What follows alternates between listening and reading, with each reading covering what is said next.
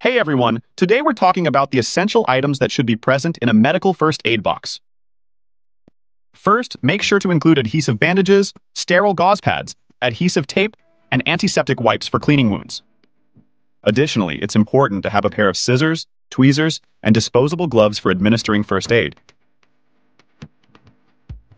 Don't forget to include a thermometer, instant cold packs, and a CPR face mask for emergency situations.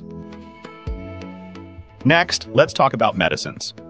Your first aid box should contain essential over-the-counter medications, such as pain relievers, antihistamines, and anti-inflammatory drugs. It's also a good idea to include a supply of any prescription medications that you or your family members may need. Remember to regularly check the expiration dates and replace any expired medications.